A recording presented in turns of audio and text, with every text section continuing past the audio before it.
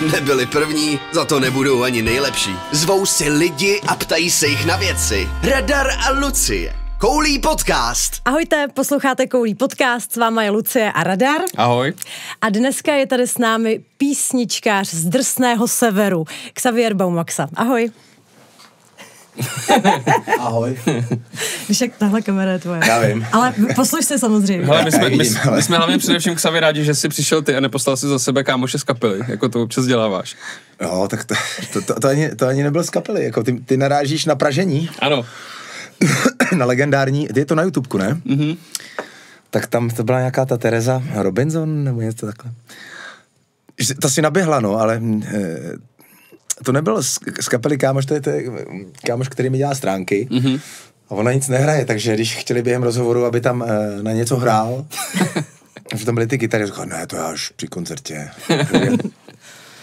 Takže to bylo celkem vtipný, no. Takže kdo, kdo by chtěl si vygooglit, eh, tak si může dát eh, Xavier Baumaxa Rock Café nebo Xavier Baumaxa TV Metropol nebo mm-hmm. něco takového. A tady na ty tagy mu vyjede video, který je do dneška na YouTube, kde místo mě dělá ten rozhovor vlastně Buddy. On jestli k tomu chcete historku, tak vám ji k tomu můžu říct. tak, tak dej historku. je celkem dobrá ta, Tak jestli je dobrá, tak ji chceme samozřejmě. je dobrá, no. Eh, Z mýho pohledu. Ta Tereza eh, Robinson s tím kameramanem přišli. To je strašná kopka, jestli jste byli v šatně, kdy muzikantský v Rock Café, strašně dole, že jo. A není tam signál navíc a byli jsme tam já, Buddy, právě ten, který je v tom rozhovoru, ten týpek, který mi dělá stránky a merch a jeho brácha a Skleník, což je basák z SPSek. Oba, eh, no, oba, oba čtyři takový eh, čtyřicátníci obtloustlí, že jo, takový. A jim přišli, ahoj, my jdem dělat rozhovor, ťuk, ťuk, ťuk, ťuk, ťuk, můžu, a tady jste, dělat rozhovor s Ksavim. A koukali oba. Ty hovno, kde je Ksavi. Já říkám, Ksavi běž na Mario. říkám, já jsem jeho manažer, já, no takhle, já říkám, on před koncertem nerá, ale my bychom chtěli jako právě ještě před koncertem, jako, tak já mu tam pošlu. Tak jsme to dohodli, asi debil, vole, jako, že, co budeš jako, co bude, a co, co budu říkat, jako, když už jako říkám, a tak už je zpracovaný, už jde. Tak já, "Ale mě znáš, budeš říkat to, co já ne. Já vám tam pošlu, jsem jim řekl.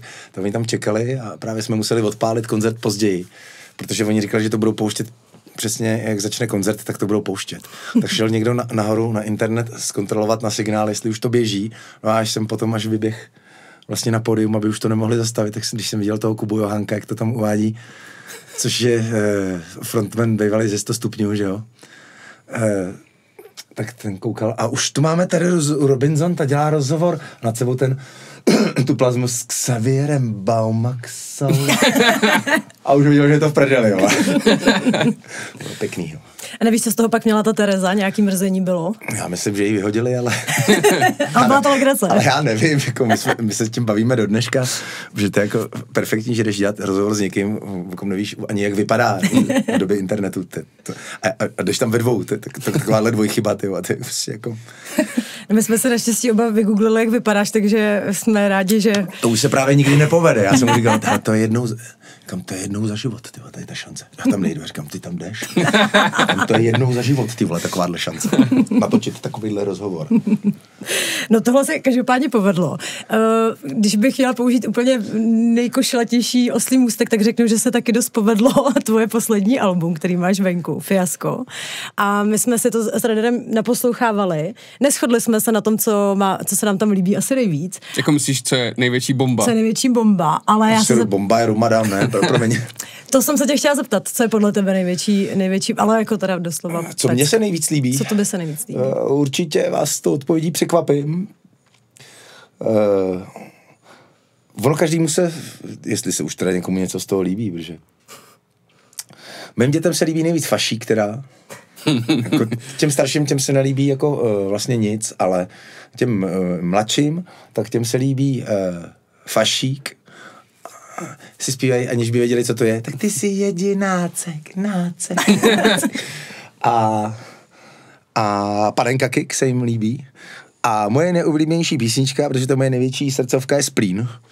protože eh, když jsme ji dělali, eh, tak eh, Čechťák si myslel, že jako on mi pak zpětně, když jsem mu prozradil, jako, o co jde, říká, já jsem měl trošku o tebe strach, jako.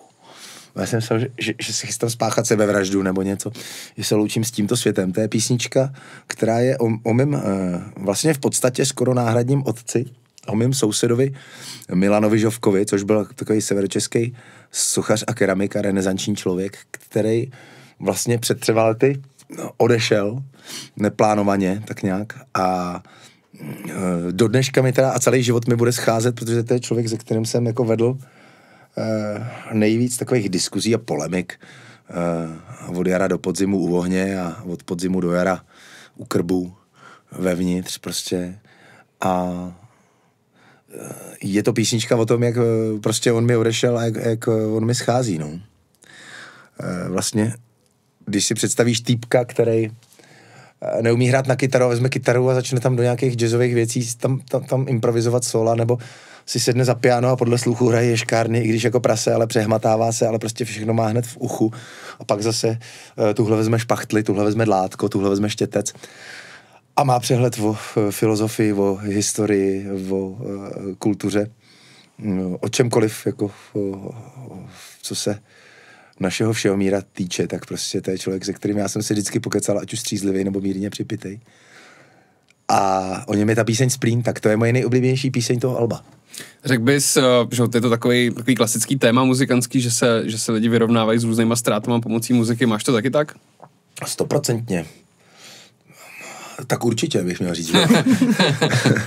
to, ne, to nebylo poprvé. Třeba uh, na tom žlutém albu uh, Down, Tem- Down Tempo uh, z roku 2013, tak tam mám píseň Mrak a tam jsem se zase vyrovnával se ztrátou mýho psa prvního, protože ta první ztráta je vždycky nejtěžší vlastně. Takže eh, potom, když už se s tou smrtí setkáš víckrát, tak už podle mě, nebyl jsem ve válce, ale podle mě jako když zabiješ prvního člověka, tak z toho máš asi trauma, jako když jsi třeba pacifista se zbraní v ruce. ale eh, potom už s každou další smrtí vlastně otupíš, že podle mě to je nějaký obrany.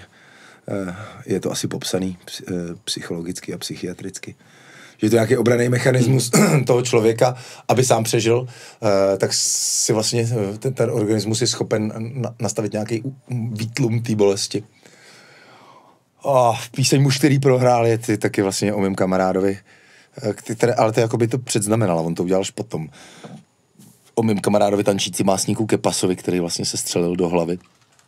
Takže těch momentů v mojí tvorbě, v, v těch písních, je určitě víc a tady to je jako zatím poslední z nich a doufám, že poslední hmm.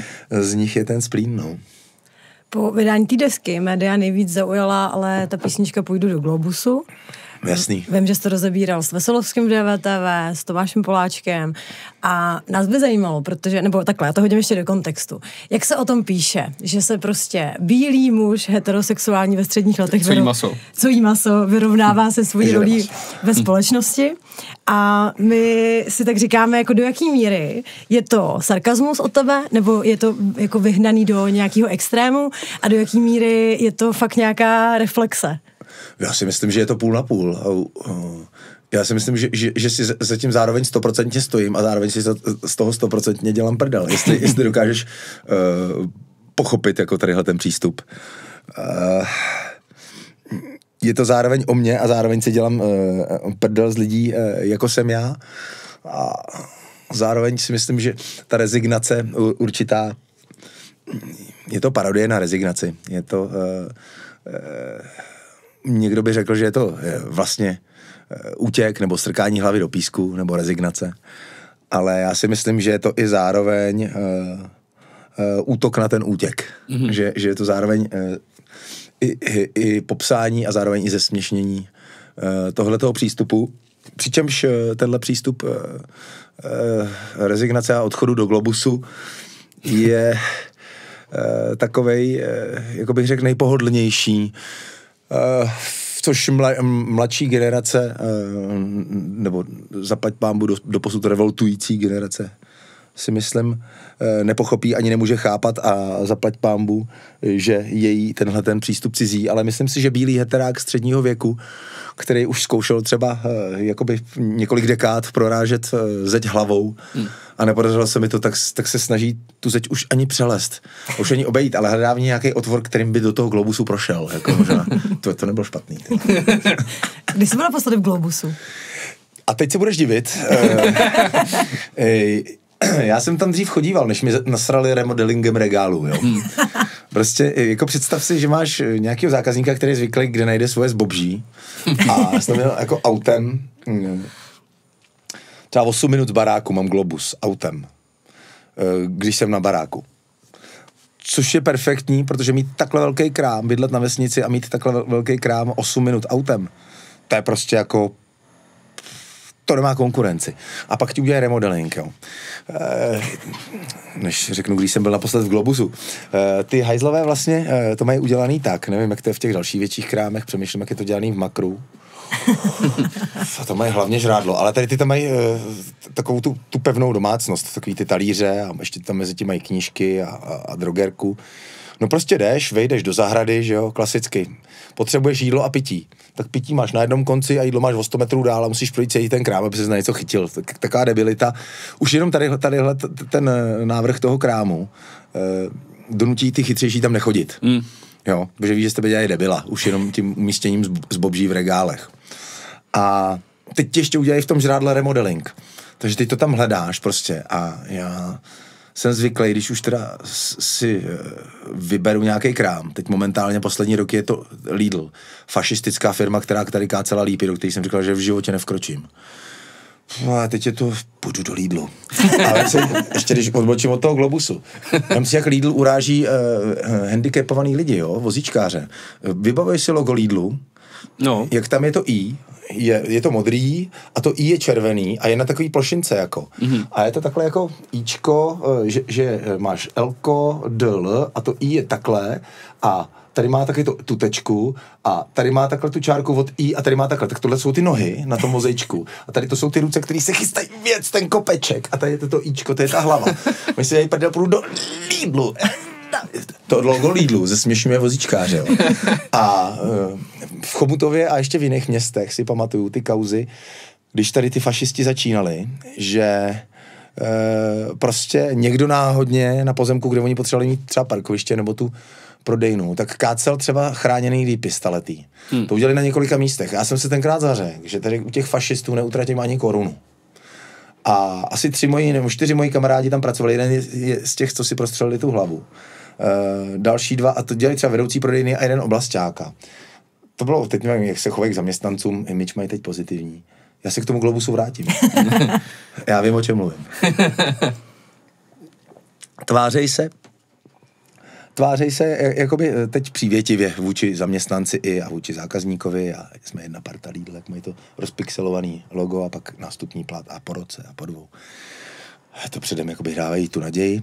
Ale tady ty lidi vycucli jak citron, to jsou v podstatě lidi, kteří eh, dělali eh, a to já budu dlouho mluvit o tom globusu. v globusu nebo o Lidlu teda? v tom principu toho globusu. jedno, jak se to jmenuje.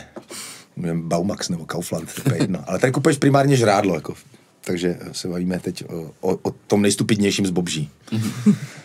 o jogurtech. Jaký jogurt je nejstupidnější? No tak nejstupidnější jogurt by měl být bílej, asi podle jako obalu a podle ceny.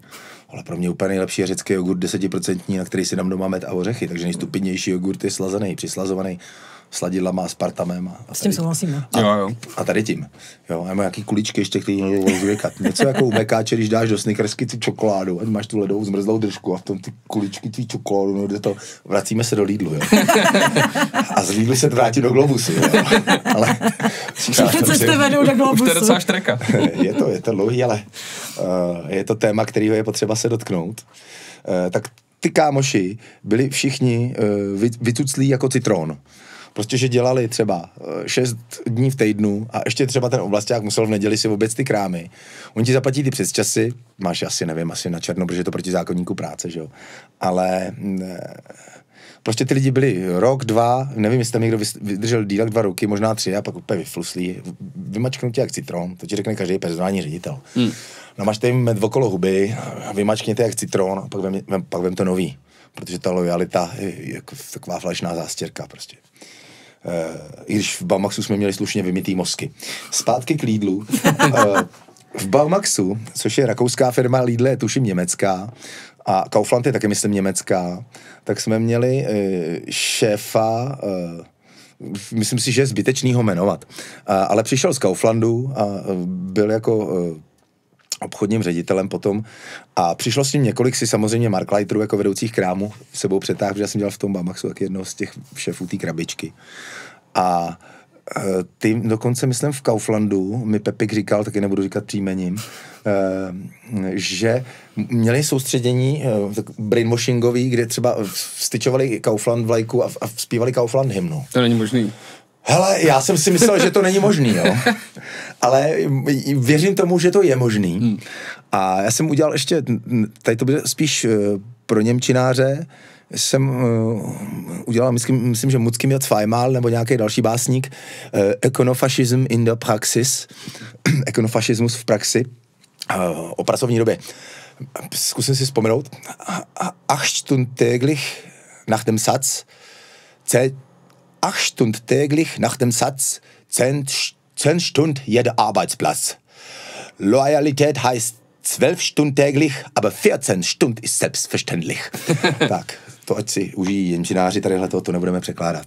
Dobře. A vrátím se teda zpátky a začal jsem asi po 15 letech u těch hajzlů v tom Lidlu nakupovat, že? Protože mají teď podle mě nejlepší skladbu z Bobží, že to mají uh, z Bobží pro sociálně slabší, ale ne tak úplně jako Penny a ty já bych, ty, Feny jsme ještě nebyli. Ale já, já to nechci dělat, ten marketingový rozbor. Já bych, tom, já bych na tom trhu mohl dělat, ale mě by z toho bylo blivno, čím se živím. Hmm. Rozumíš? Dělat nějaké reklamy nebo marketing, nebo ty, i HR bych mohl dělat. A to ne, ne, ne, ne. Půjdu do Globusu. Tak jsem u nich začal nakupovat, protože mi jejich zbobží nejméně vadí, tak abych to hmm. řekl. A v tom Globusu mi udělali uh, ten remodeling a tím mi úplně jakoby totálně nasrali, protože ty najednou tam jdeš a nevíš, co máš v tom, co tam máš jako vůbec jako hledat hmm. za to zbobží. A tím si myslím, že dokážou vytočit i takovýho, se snažím v krámě strávit co nejkratší dobu. Takže si dělám už podle těch regálů tu přípravu domácí. Jo, to si sedneš ke stolu ke kafíčku a radši strávíš těch 10 minut, tu čtvrt hodinku, ty kávičky, než by se zvracel pro nějaký skurvený hajzlák, jo. A No, kde jsou sirky? Kde jsou tam sirky? A teď přemýšlíš, jo, kde jsou pytle do koše? Ti debilové nemají strouhanku u pečiva, ale mají ty vole u oleju.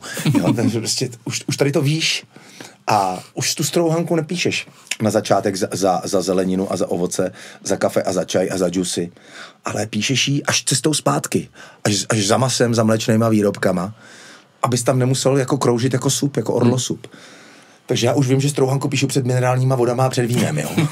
Třeba tom Lidlu.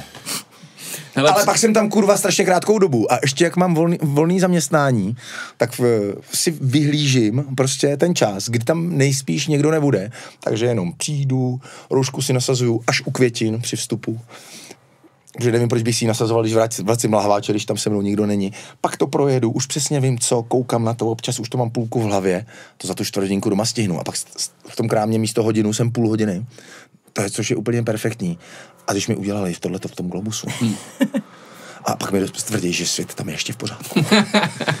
tak se vracím k té odpovědi, když jsem byl naposled v Globusu. Tak bylo to samozřejmě eh, před Silvestrem eh, 28. 29. Eh, prosince jsme tam byli a co mají teda dobrý, mají bouraný maso. Mm. Eh, hovězí mají dobrý. Že mají čerstvý mletý a my jsme chtěli dělat po životě, jsem se chystal vyzkoušet si rozbív a teď tam na mě vykouk takový dvou a půl kilový šál nízkýho roštěnce. A na měla přijet návštěva. Mě měli pohostit. Já říkám, to je můj šál, to není ničí jiný šál.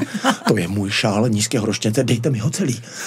jsem byl 29. prosince, teď naposledy, no, po dlouhé době. Občas teda v jídelně kupujeme řízky, jako... Je tam ještě taková vychytávka. Na tom masném pultu v Globuse ti prodají řízky skatey. Jo, mm, hmm. teda, pa, pardon, když seš v jídelně, tak ti prodají, eh, tam, kde se jdeš najíst, ti prodají řízky skatey, tomu salátu nebo k těm bramborám. A ta kejta je suší než krkovička. A aby to prodali všechno, tak tady prodávají jenom skejty a na masném pultu řízky e, z krkovičky. Takže já když jdu do Globusu, v nouzi se najíst, když jdu koupit řízky domů, tak jdu rovnou na masný pult. Prostě rychle, děcka, nemáš vařeno, přijedeš, co, obalovat půjdu do Globusu, jenom tam vkročím, koupím čtyři řízky, mám na to termohrnec, už jsme dokonce pořídili, vezmu, mezi tím moje přítelkyně udělá doma brambory, teď já přijedu brambory na stole a říkám, tady máte řízky a je to hotový celý. A ty svině mají samozřejmě ty suchý řízky tam, kde ten, si, si musíš sednout, takže já, když sedu najíst do Globusu dvakrát za rok jednou, tak si vezmu tu krkovičku, nechám si ji dát do igeliťáku a tam si koupím maštěný brambory a k tomu si tam vysypu tu krkovičku z toho igeliťáku. Ochranka má polepený to, ne, říkám, aha, tenhle řízeček jsem si přinesl. Že už mám vychytaný takovýhle věci, abych tam strávil kurva co nejkratší dobu. Hmm. Abych se co, co, ne, co nejméně nejhůř najet. Ne, že bych se najet dobře, já si chci najíst co nejméně nejhůř. No? Tečka. Vidíš, eh, já jsem vždycky měla za to, že ty jsi takový největší hacker různých hotelových snídaní a vochcávek a eh, k sobě to má evidentně zmáklý ještě víc. A mimochodem teda v Globusu podle mě byla vždycky nejvíc vyhlášená sekana. Aspoň u nás v Chomutově teda, tam se vždycky jezdilo na Jo, ta sekačka, já jsem nikdy nefrčel, ty to je, to je nastřelená barvivá má vodou, ty tam strašně jakoby strouhanky mouky. Ta jejich sekačka, to je taková ta bavorská v té housce. To nemá skoro jo. žádný maso, to se sekanou nemá nic společného. To je taková ta bavorská sekana, já vím, o čem mluvíš. No. Eh, je to velmi populární. Jako uh, v severních Čechách, jak si myslím, že polovina předličanů a polovina termičanů uh, v ústeckém globusu nekoupila nikdy nic jiného než tohleto. Tam třeba do fronty a dej mi mare dva, dvě ty housky. Co mare zavčicí? S kečupem tady promalo ještě ne. Čtyři, čtyři. Jedna, dvě, čtyři, ne? Můžeš počítat. Jedna, dvě, čtyři. Budoucnost národa. Dobrý, jedeme dál. Myslím, že nabídku Globusu jsme docela pokryli. Mm. Já bych se zastavila ještě u jedné písničky z tvého nového alba, alba a to je Panenka Kick, protože to mě třeba hrozně pobavilo. A koukala jsem, že i Antonín Panenka tě pokřtil tu desku, jestli se neplatu. Je to tak, je to tak. Takže jsi bohemák, předpokládám. Já jsem spíš bohem. Ah. A uh, já nejsem eh, vyloženě bohemák, ale samozřejmě z těch uh, klubů ligových je mi tadyhle ten klub, který se kdysi vydal na to turné po Austrálii. A odkaď si přivez uh, toho klokana a od té doby ho má ve znaku, tak je mi nejsympatičtější, protože mi připadá takový nejvíc rodinný a i se mi líbí uh, uh, uh, vlastně ta soudržnost těch fanoušků, když se měli slo, složit na to, aby to uh, zůstalo v tom do, dolíčku, tak uh, všichni ty bezejmaný a všichni, všechny ty osobnosti uh, jak prostě dokázali zachovat ten uh, fotbal v, to, v, to, v tom dělíčku, uh, v tom dělíčku, kde to má být, uh, tak uh, lidi třeba, který uh, jsou mi blízký, Tomáš Poláček je obrovský bohemák, to je fanatik, plus x jako samozřejmě jeho kamarádů, Honza Čechtický, to je jako bohemák veliký, Uh, další lidi od muziky Orion je třeba Bohemák, že jo, a teď už jsem se seznámil uh, i s Ivanem Trojanem, tak to je taky samozřejmě jakoby bohemák, jakoby top ten bohemák, že jo. A s Tondou Panenkou mě seznámili tadyhle ty uh, kluci a PR tam dělá uh, Kouky, Martin Koukal, vlastně ten kluk z Litvínova dělá PR Bohemce.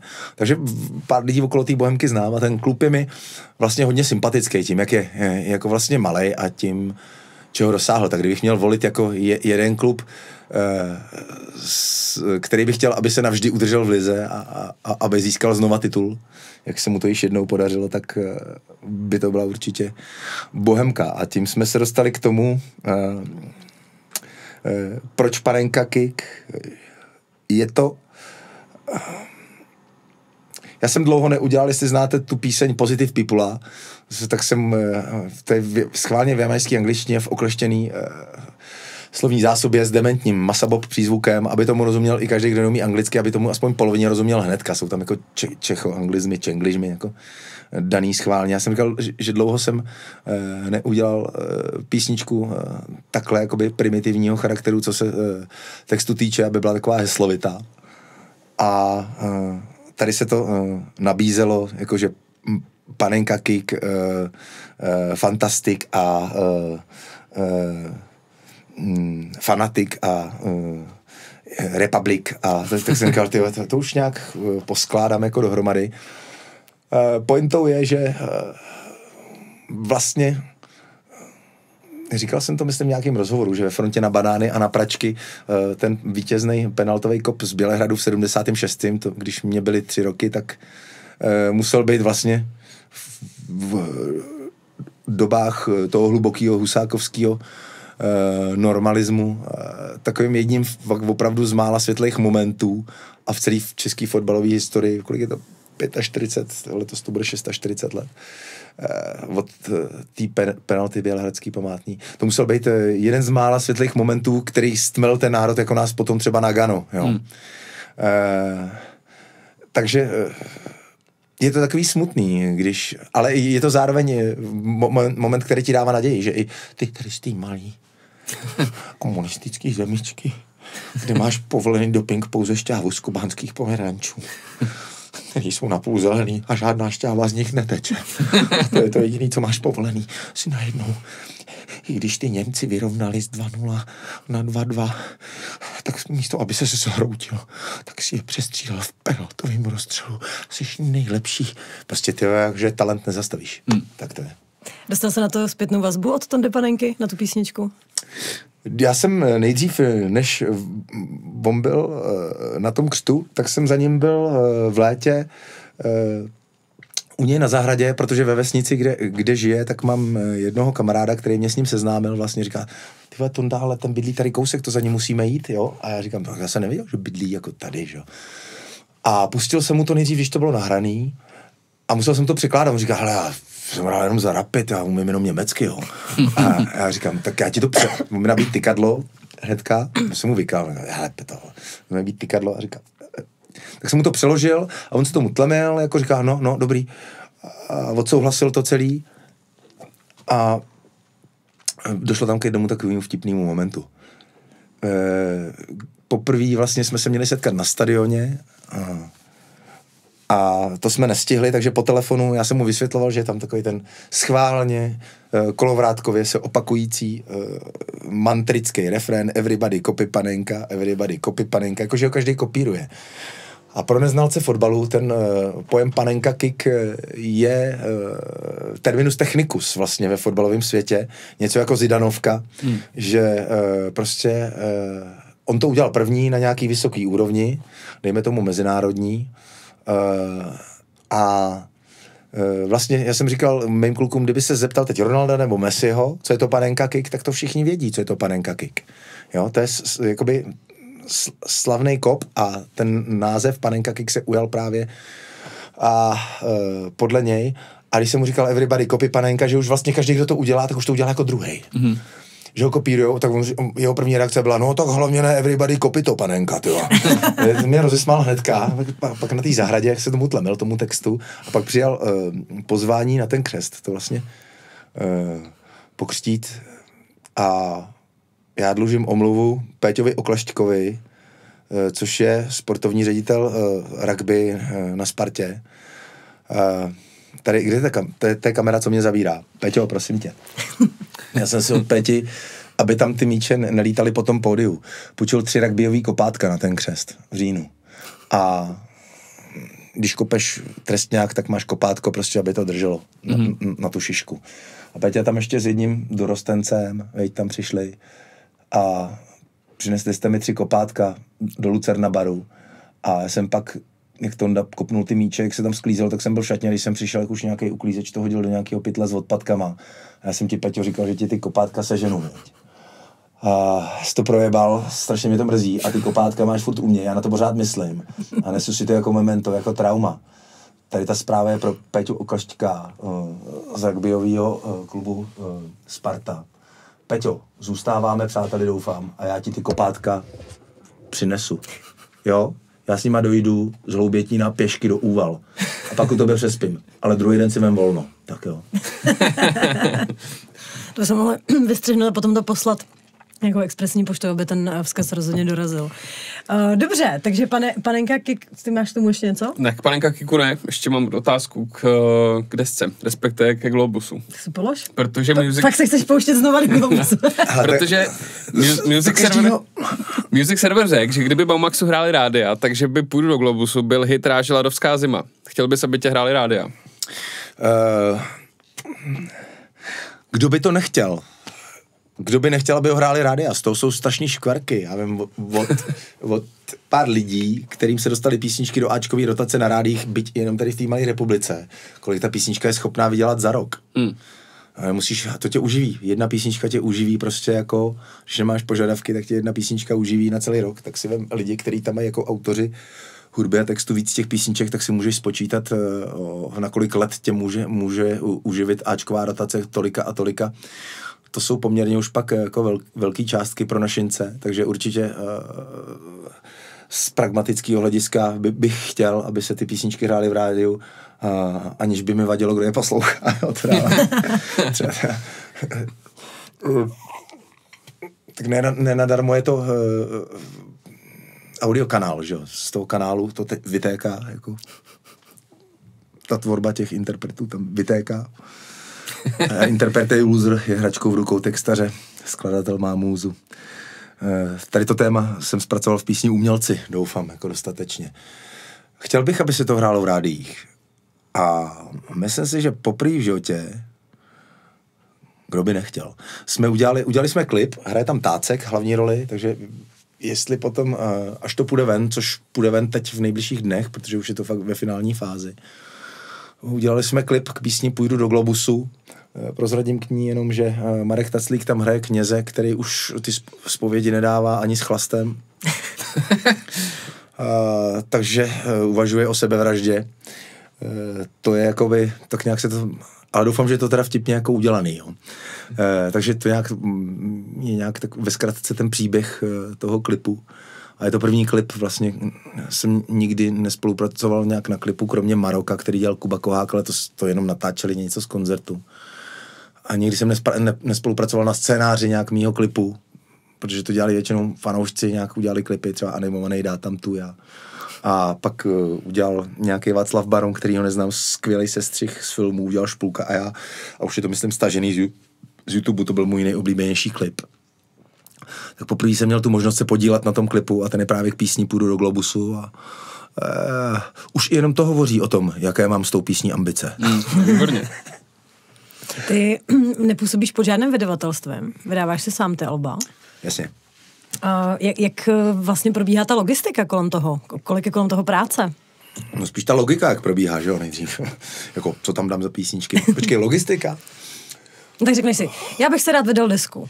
No. A jak se to mám jako průměrný Čech představit? No tak za první musíš mít jako repertoár, že jo, nějaký. tak dejme tomu, že mám nějaký repertoár. tak, si, tak už, si, už si něco naskládala, jo? No, už jsem něco naskládala. Hmm, dobrý, tak si naskládala třeba tak 20 věcí a z toho musíš třeba 10 vybrat, nebo 12, nebo si naskládala 30 věcí někdo, já nevím. Eh, já mám poměrně velkou autocenzuru, tak, tak vím, že eh, i když už bylo něco doskládáno, takže nemá s tím smysl vycházet na světlo boží. Takže já naskládám těch věcí maximálně 20. A teď už neskládám teda skoro vůbec nic, ale... Ehm, a potom následuje takový nějaký výběr těch písní. Yeah. Sorry. V pohodě. Následuje nějaký jako výběr těch písní. A řekneš si teda jako, že bys jich měla mít třeba, jestli jich tam bude. Myslím si, že by... A oni už ty alba vlastně už jsou pasé, jo, už se spíš vydávají singly. Jo, tak já nevím, jestli ještě někdy nějaký album vydám, ale ještě jedno nějaký písničkářský bych tam asi... No a pak on je to hezký, když je to celiství, když máš myšlenku a je to v jednom módu, jako třeba teď v tom elektronickém. Uh, takže otázka je vůbec, zdali se bavit o, o albech, jo, ale když už teda se bavíme o albech, tak ta logistika teda uh, toho alba je taková, že potom, když už to máš nějak předvybraný, tak se rozhodneš, eh, nebo přemýšlíš, kde bys to chtěla nahrát, u koho, s kým, kde.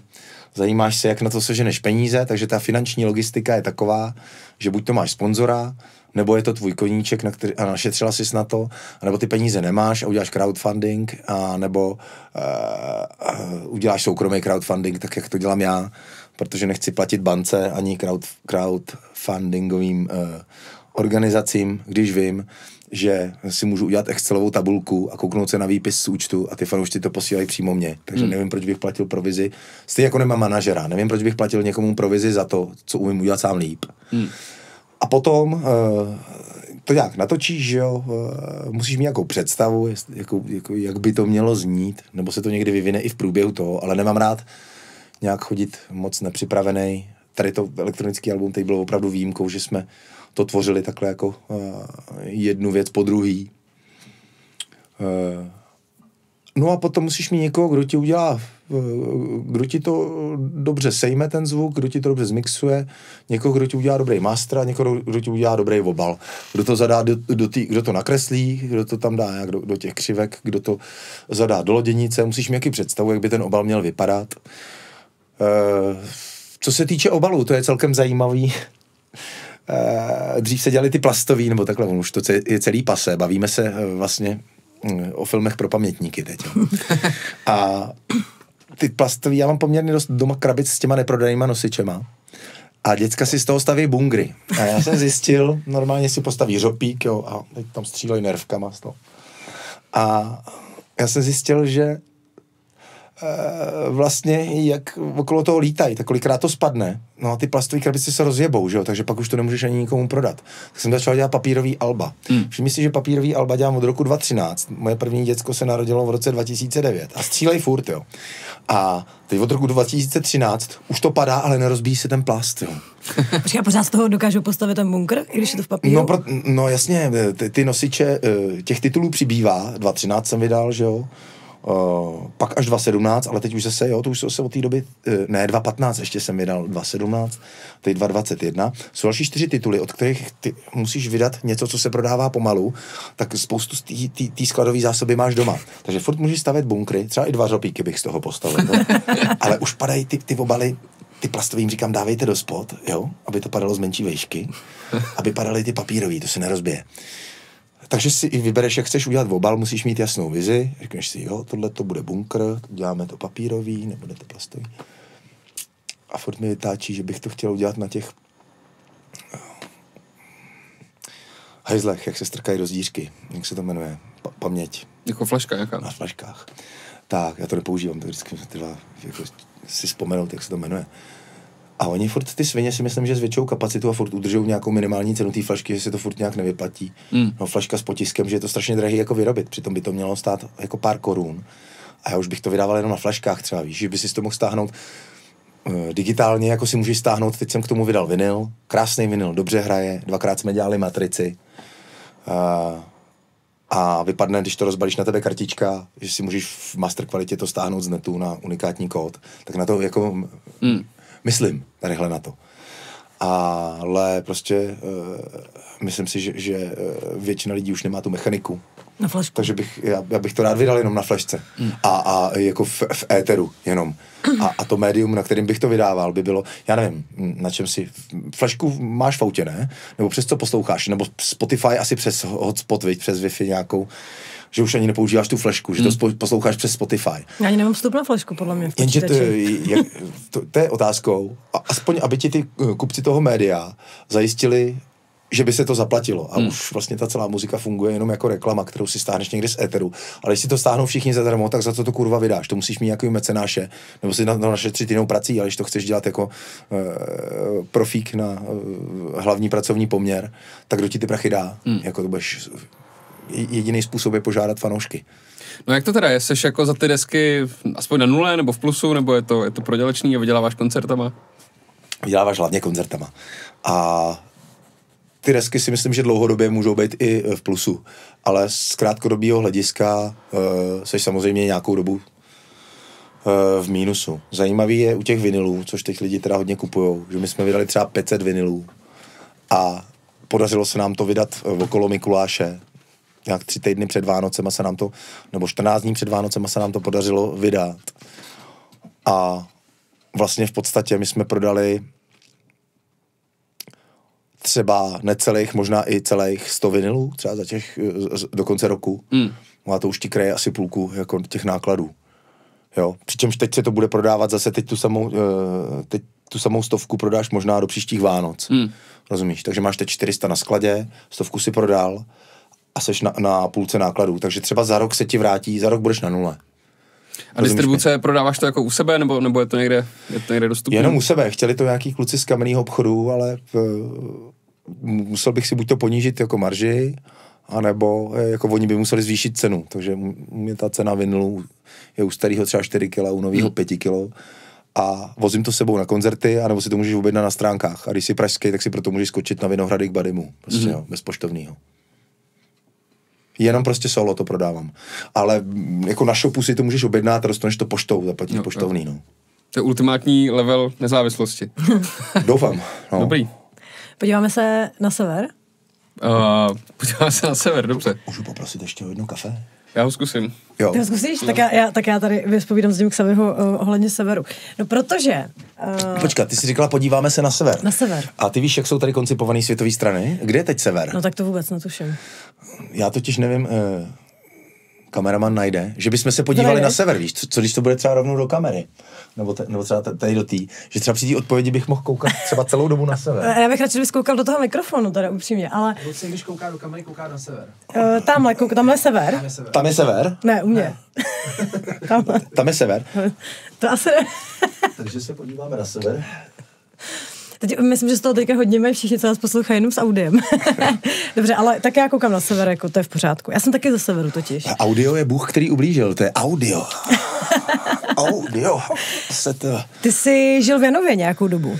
No, tam mám mámu do dneška a teď jsem tam, naposledy jsem tam byl, uh, když jsem 25. hrál v Ponorce, byli jsme tam na štědrý den, u mámy tam, kde jsem bydlel, v Litvínově Janově a v Ponorce v Litvínově v klubu hraju vždycky 25. prosince. Každý rok říkám, že už ne. A že tam strašný krával, všichni přijedou ze světa a chtějí si povídat a ty přes ně hraješ za trest. No, dobře. A tak jsem tam byl naposled 26. jsem byl a teď jsem tam ves ještě pípu. Vlastně my jsme, ale to bylo do Hamru, to nebylo do Janova. My jsme narazili prosekovou pumu, to jsem dával jako Facebook příspěvek. Sehnali jsme v létě 20-litrovou v Českém Krumlově prosekovou pumu od kamaráda jednoho. Mysleli jsme, že když ji narazíme 29. že vydrží do Silvestra. Špatně. E, takže tam jezdím, no, občas ještě. A tam jsem teda dlouhý roky čuměl z toho panelákového okna na protější paneláky. To muselo být krásný. To tě paneláka, tam chceš bydlet. A myslíš, že jsou pořád vesnice plné dementů, obzvlášť v Sudetech? Je to nesporně, já se pohybuju jako po celých sudetech, od Jeseníků až po a, dejme tomu Jižní Moravu. Je pravdou, že eh, celková jako hm, je to tam strašně obhroublý. My jsme tam teď byli jenom fakt, že, že s, uh, pa, uh, můj skoro bratr Paolo, můj pokrevní bratr Paolo, děkuju moc, uh, přijel z Brna, uh, šli jsme pěšky na Silvestra, to bylo krásně. Z té vesnice máme to asi 15 km na Větruši do Ústí, asi 16 km, no, pak jdeš lanovkou dolů do obchodního centra Fórum v Ústí z Větruše, pak si dojdeš kousek na nádraží. A přišli jsme do kontaktu s x osobama. Jedna osoba na nás byla strašně hodná nahoře na lanovce, jakože pejsek nemá košík a tak dále a všechno v pohodě. Ale potom si nás tam jako na Silvestra vyhmátla bachařka, pak nějaký nás tam začali vyhazovat z toho obchodního centra. Jsem připadal jako, a pak eh, jako to nádraží eh, hlídaný těma fízlama a tam všude ty díleři, ty vole toho pika. Ty jsem měl asi bě- během 500 metrů dva nebo tři. Víš, na, na Silvestra by bylo dobře, tady máš rehu párna a, a to se děje 100 metrů od, od, od toho, tam, kde tě pomáhají a chrání. Jako teda, a to, to je tak směšný a vlastně je to typický příklad toho, jak, jak je nejenom ten sever, ale celý to pohraničí pořád obhroublý. Jo, že prostě tam vysídlila původní obyvatelstvo, nasadila tam lopaty a my jsme třetí až čtvrtá generace lopat. Čtvrtá, dejme tomu už. Ale dospělá je třeba ta třetí generace lopat. A furt se chová jako lopaty. Že opravdu oproti, a nechci říkat Praze, ale či, čím, eh, dál dovnitř, čím dál do vnitrozemí, dál od těch sudet, eh, tím bych řekl, že je i ta eh, dejme tomu úroveň, nechci říct inteligence, ale, ale inteligence taky to s tím souvisí. Úroveň chování prostě uh, uh, lidí se k sobě jako lepší, že mi připadá, že to, že to IQ v Sudetech se blíží uh, i, i, průměrnému IQ z Vysočíny, což považuji teda jako, zase spoustu lidí urazím, ale buďme kontroverzní, že když si, si tak projíždím tu republiku, tak opravdu, než jsem si definoval uh, to sudecké IQ, já myslím, že to sudecké IQ je velice podobné IQ uh, Vysočíny a že ty lidi by měli dostávat třeba na Mikuláše pravidelně jako každý obrovskou velkou sudeckou pečeť. Nebo když bys míjel hranice sudet, tak třeba by tě zastavili, tam, kde kontrolovali covid a dali by ti sudeckou pečeť, aby si obalil nervíky, jako v, a že by si třeba co, co hodinku si dal kostičku, že by ti vystačila ta sudecká pečeť na celou víkendovou uh, návštěvu sudet kam by se zvracel třeba k rodičům, jo? že by si si v pátek zobnul a není by si říkal, že mě došla sudecká pečeť, ještě, že už jedu do Prahy. no, to musím vyzkoušet. Hele, a jak v Sudetech reagují, když tam na koncertě zandáš Tuja? Na to reagují všude stejně, protože tujaři jsou všude. Ty, ty jsou i na křivoklácku, jo, prostě. Kdy jsi měl naposledy čest Hele, tuja, s tujař, tujařem? tujař, to je diagnoza, to je prostě, to, to, to si nemyslím, že eh, souvisí nějak se sudetama. Eh, to souvisí jako s debilitou lidí eh, rychle nabít, eh, rychle nabít nesmyslného soukromí na špatně oploceném pozemku. No. Špatných rozměrů. Blbě situovaném teda. No. No my zrovna tady tu písničku jsme si pouštěli docela I často pišelých třeba. před Vánocema, protože na, nám to funguje tak jako, jako duševno hygienisticky, to slovo neexistuje podle mě, ale Duševno hygienicky, jo? tak nějak, no. No, já myslím, že to, že to, že to funguje jako spíš puševno hygienisticky, jako, jo, že, že duše, duševně, duševno hy- hygienicky, z, ně, z, něho, z něho vychází to puševno hygienisticky. Co si chtěla říct, že očista, jakože bys to taky ráda udělala, podřezala. Je to tam, ne, to ne, eh, spíš jako, eh, jak tam je taková krásná gradace, když tam zpíváš, tak řekni mi to ty sráči do očí, tak uh, mi dělá strašně dobře si to jako zpívat s tebou vždycky. No, Já jsem to, to, to musel absolvovat vlastně s tím sousedem uh, pode mnou. Takže Eh, počkej, se to zakládá na, na skutečných událostech, ta písnička. No, no, tak eh, já mám vlastně udělaný ten průřez těch tují, jinak bych neviděl eh, vlastně na tu Milašovku a na ten rybník. Tam jsou šestimetrový tuje, eh, do dneška tam jsou. Ale jak měli eh, z Česu ty dráty, kde to mohlo probíjet, tak oni to jezdili zastříhávat, protože když bylo mokro, tak ono by to mohlo vodit a mohla by se toho dotknout dole děcko a mohli by dostat hybu z těch drátů, že jo, přes ty tuje. Ale teď to už tam udělali nový sloupy, ne- nedali to do země, udělali krásný nový betonový sloupy a svedli to do kabelu, takže jsou- tam jenom teď ty kabely dva, tak teď už ty tuje jsou tomu jedno, takže už to, už to nezastřihávají, už to prostě, už to přerůstá jako ty ty uh, dráty čezácký a já tam uh, to musím jednou za čas takhle, aby jsme viděli z toho francouzského okna, tak to, to musím takhle jako zastřihnout. A tujař měl takový zlý oči. takový jako hadí. Už tu není mezi náma. Mm-hmm. A já vím, že se bál nějak vždycky psu a jediný, na koho štěkal můj pes nebo můj psi, tak byl on. A on třeba šel od pole a ten pes se postavil před něj a taky na něj štěkal. A on říká, ještě jednou. Sousede, ještě jednou ten pes. A já ho zastřelím. A já, já mu říkám, a já vám udělám to samé, co, je, co vy jemu, protože to je člen mojí rodiny. Cokoliv uděláte členovi mé rodiny, tak to udělám já vám. Třikrát. A byl klid. Slyšel tu písničku? Tak já nevím, jestli to kleplo na základě poslechu té písničky nebo něčeho jiného, ale možná, že jsem se spíš podepsal. Víš, to je takový... Teď se s ním... Já jsem za ním dva roky chodil, ať to udržuje, ať to zastřihává, že to zhoustne a do určitý vešky, že my přesto vidíme. A teď to má 6 metrů, jsou mezi tím takový půlmetrový, tři čtvrtěmetrový okna, skrz který vidíš, jo, a nahoře jsou zbytečky těch tu a něco, jak když nezastřihuješ vlasy, no, pelichanej vohon. A když to po dvou letech nepochopil, tak jsem to ožralý prostě tak, jak te- ten klip je na základě, eh, te- jste viděli ten animovaný. No jasně, no asi třeba jenom milionkrát. No tak eh, prostě ta holka, která ho dělala, to dělala jako diplomku, tak se se mnou sešla a já jsem jí to celý vyprávěl a ona si z toho udělala nějaký plot, nějaký jako scénář. A pak to podle toho jako natočila, přičemž eh, ta uříznutá hlava na konci je nadsázka, ale jinak tak nějak ten děj odpovídá. Takže jsem se nakosil a někdy ve dvě, tři ráno jsem nastartoval motorovku a prostě už zhrzelý po dvou letech jsem dělal "Ně, dědu drchlíka, ty bez návštěvníků. A jsem to vzal a říkal, a přišel druhý den a a já říkám, soused, já jsem se s váma dva roky snažil dohodnout. A on, já vám tady postavím zeď. A já říkám, a já vám ji uříznu flexou. A byl klid. No, já nevím, jestli tohle není to správné místo. Já myslím, že to je to správný místo. Kdyby jsme tě měli ukecat, aby si, aby si nám to zahrál. Co dá tam tu já? Hmm. To bychom si přáli strašně moc. Ty bláho, tak to můžeme pak nějak nastříhat, nebo to mám teď dát jako přímo? Uh, jako, no, Jak se ti chce? Mně se, nech, se totiž nechce hrát, jako. Nějak. Mně se nechce hrát. Nezlobíte se. Mě, jste- mě baví ten rozhovor. Já se nechci jako jak, Tak dobře, tak to dáme třeba na konci a pak to nějak, když tak střihneme. jako tady teď pitvořit. Tak my schválně teďka už to budeme kazit ten rozhovor, aby, aby Aby tě to sralo a radši si chtěl hrát.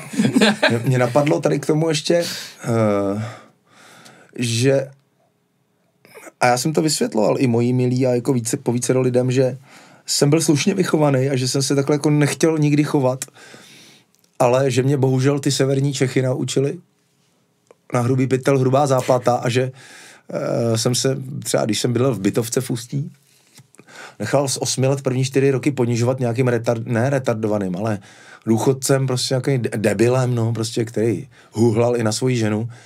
Měl souseda alkoholika, který byl v přízemí, který mlátil svoji ženu a toho obcházel obloukem. Hmm. A na mě, když jsem byl slušný, tak si dovoloval, aspoň si to vybíjel, jaký to zrcátko od autobusu, ke koukal vždycky, kdo přijde, jakože máš přidělaný venku z okna. No a já jsem pak už jednou to nevydržel, tak, tak, tak jsem mu seřval, začal jsem mu tykat a od té doby jsem měl klid a říkám, aha, takže a to mi bylo 30. Říkám, tak, že takhle ve 30 začnu být hnusný, abych měl klid. Hmm. Začal jsem. A je ti dobře, ale ne? Potom. Není, ale mám klid. ale už jsem si i zvyk, že, že už mi potom ani není jako zas tak špatně. Bylo mi potom vždycky špatně, ale měl jsem od těch lidí klid. A teď už vlastně to nevnímám. Teď už chci mít jenom klid, tak už to je jako... Ta obroublost je uh, vlastně součástí mýho charakteru, bohužel. Takže myslíš, že jsi to přinesl ze sudet? Stoprocentně. Můžou za to jako vnější okolnosti, já jsem se takhle chovat nechtěl. Ale uh, okolnosti uh, toho, že ti uh, vlastně někdo, kdo by uh, měl být v hierarchii nějak, uh, nechci to kastovat, ale někdo, kdo by uh, bez ohledu na věk uh, neměl vůbec mít právo na tom se po tobě vozit, se po tobě vozí. Mě donutili k tomu, obrátit jim ten kopec, aby se po mně nemohli vozit, aspoň to dát do roviny. Hmm. No, abych měl klid. Když už jsme u těch uh, lidí, co ti tak různě leží v žaludku, jo, tak dřív ti dost ležel v žaludku krajčo. A mě už v žaludku skoro nikdo neleží. Neleží? Ne, já to mám čím dál tím méně, jako že by mě někdo ležel v žaludku. Víš, že jako, no ale tak jako dořekni myšlenku. No ne, tak mě zajímalo právě, kdo to je teďka, nebo jestli to je furt ještě krajčo, nebo ten už, jestli už je pase. No to je pasé, to je špindl a krajčo, to je. A to bylo, a to není, že by mi leželi v žaludku, to mi, ten krajčo, to je prostě jenom, dáš protiváhu a řekneš lidem, jak takovýhle lidi skládají písničky, kterým někteří, někteří opičané věří, jakože je to teda srdcovka. Jako, pak jsem zjistil až zpětně, že existují stránky nějakou, píšeme texty kapele Kapely Krištof Krištof. nebo něco takového. To jsem zjistil až zpětně, jsem na to koukal a opravdu těch poetů v tom náro- národu, eh, v tom národě je strašně hodně. A někdy jsem se fakt jako zasmál uh, některým těm výtvorům, že tam spousta lidí eh, tam projevila svoje básnické střevo a jsou to lidi, kteří si z toho jenom dělají prdel. Hmm. Tak to, je, to bylo jenom jako, když tu písničku uh, uvedeš nějakým způsobem uh, na koncertě a dáš tam k tomu tu genezi, jak se ty texty píšou s tou zapnutou uh, uh, té devítkou nebo nevypnutou a teď musíš pořád obměňovat, tak je to celkem vtipný. to, ty, a ty se snažíš se neopakovat, jako Jirka Šmicer třeba, že dělá chybu na stejném místě. Když přijdeš na první koncert, tak a na druhé, tak se tomu směš a na druhé říká, "Ty řekl úplně to stejný, ve stejném místě, udělal u toho stejnou grimasu, říká, to je blbý. To musí přece ten člověk vědět. Tak se snažím aspoň to dělat po každý trošku jinak, protože vím, že tam můžou být stejný lidi. Ale pořád mě baví tu historku k tomu dávat, ale není to, že, že by mi nějak ležel v žaludku, spíš jako eh, mě- je to příklad toho, jak někdo, eh, eh, kdo eh, skládá plitký texty nebo hovna, vlastně na to namotá takový počet posluchačů, eh, až se to pak jako line z éteru, vlastně se, line, se linou věci tady toho typu. Hmm. Jo. Eh, Že takhle fungují ty rádia, že, že třeba blbečci hrají blbečkům, jo, a to je ta masa. Uh, a Špindl X tam to je opačný, nebo ne opačný, tam, ne opačný, tam to je jiný případ, že jsme spolu jeli nějaký turné, který jsem inicioval já, v době, kdy uh, vlastně jsem si myslel, že Špindl je takový jako nějaký neznámý ňouma, který má ale strašně jakoby vtipný texty a potřebuje nějak pomoct a on už v té době vyhrál Portu a nějakou další soutěž a vlastně on v té muzice soutěžil. Já si myslím, že te- 30 let to je hraniční takový nějaký věk, kdyby si měl ještě soutěžit v umění. Jo. Hmm. Že jako toho jsou sporty, jo, nebo hm, skok daleký, nebo A to, to je, já si myslím, že to pamatuju tady to. Hmm. A mě pak právě štvalo s tím špindlem jako jezdit. Já jsem z toho měl trauma, ale řekl jsem si, že tu šňůru asi osmi koncertů nebo kolika to bylo, že dojezdím. Ale vlastně se mi vždycky na, na ten víkend jako nechtělo, tak jsem pak z toho měl nějakou soskou rybku v kotelně, zapnul ten diktafon v kotelně a jsem napsal tuhle písničku. A pak jsem říkal, že je to celkem prdel. Udělal to schválně jako zhrzele. Hmm. A si to vypustil někdy na Nový rok nebo někdy na Silvestra, já fakt, fakt už nevím. Ale neleží mi jako rozhodně ty lidi v žaludku a novej mi tam nikdo neleží, ani ta Zeman, Zemanuela vlastně, to mi trošku jako leží v žaludku spíš z hlediska to, jak nás reprezentuje, že a věnoval jsem mu písničku teďka na albu. Právě po dlouhé době po Pičanovi Havlovi e, spíš tě irituje, že někdo takovejhle jiný tě zastupuje ve světě. Mm-hmm. Jako jestli pak řekneš, národ debilů, ty tam nějaká ožralá troska tam spí na nějakém summitu, ty, tak, tak podívejte se. jo, jo. že e, prostě jsem se zase pustil do nějaký parodie e, takže Zemanuela relativně, mě už ty lidi neleží v žaludku, ale uh, potřebuju se k tomu nějakým způsobem vyjádřit, že když se vezmeš, kam to šlo od Havla, přes zloděje propisek až, až po jako uh, alkoholika z Vysočíny, uh, který mm, neříká větu, uh, nezačíná větu mm, vážený občané, mm, vážení spoluopičané, jak si, že, ale zač, začne jako větu okamžitě ti dá, jakoby, když začneš větu, tak podívejte se, tak to, to už jako, už si s tebou vytírá prdel v tu chvíli, ještě nic neřekne.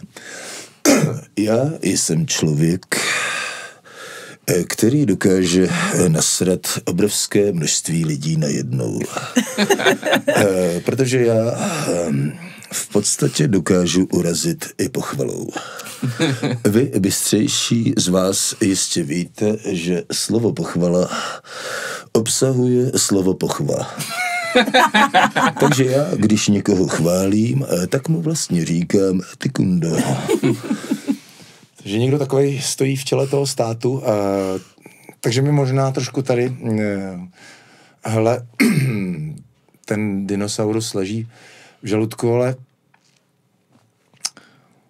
říkali jsme si, jestli náhodou nemůže být ještě hůř. Asi tak před, Vždycky může být před třema lety jsme si říkali, když, ještě, ještě, když Jaromír Soukup Jaromíra Soukupa měl televizi Jaromíra Soukupa, na které dělali rozhovory Jaromíra Soukupa s Jaromírem Soukupem. E, jestli náhodou teď e, synovi bylo v té době asi 8 nebo 9, asi 8 a říká, tati představ si, že by byl e, prezident Soukup a premiér Okamura. A já říkám, hmm. sounds good, it's a good idea. Let's think about it. Torture, torture, it's a good idea. No ne, já se to nechci představit. Já, já bych tam asi jako nechodil. Takže možná, že mi Zemanuela trošku jako leží v žaludku malinko. Malinko, ale už jsi se s tím vypořádal. Ale vředy z něj nemám. Hmm. to je dobře. Jdeme... Co? No. No. já jsem chtěla na rubriky. Do... Mm, dobře. Už jo. No, protože uh, já bych to hrozně ráda všechno stihla. Dobře. A... Já mám takový uh, dost žvatlavý odpovědi, viď?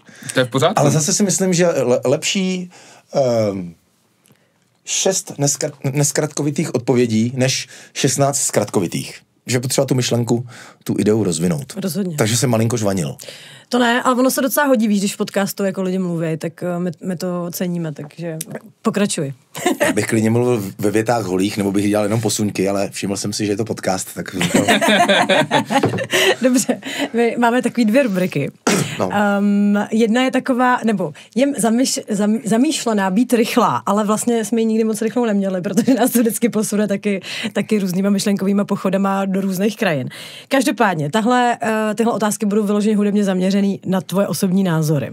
Aha. Jo? Jo, jakože, uh, počkat, dobře. Uh, no, doufám, že nebudu muset nikoho hodnotit. Já nerad hodnotím ne. jako... Mm. Uh, jako srovnejte Ronalda s Messim, nebo... Hudební. no, já vím, ale v princip, jo. Ne, to, myslím, že tam něco takového asi, asi To bude až ta druhá rubrika. Jo, to je až ta druhá rubrika. Tak, za, zatím buď v klidu.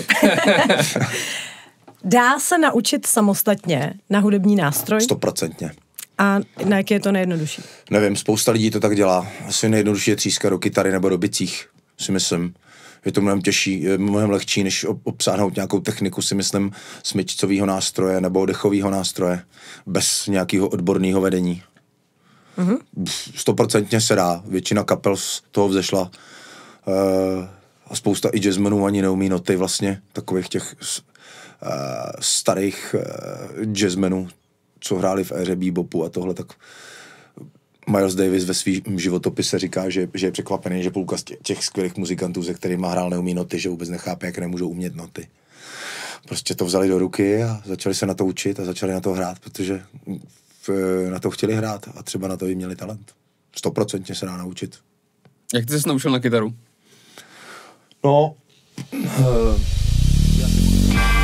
No a to je pro dnešek všechno. Zbytek Xaviera Baumaxy najdete na Piky, kde nás nově můžete podpořit libovolnou částkou, která je teda vyšší než těch určených 123 korun.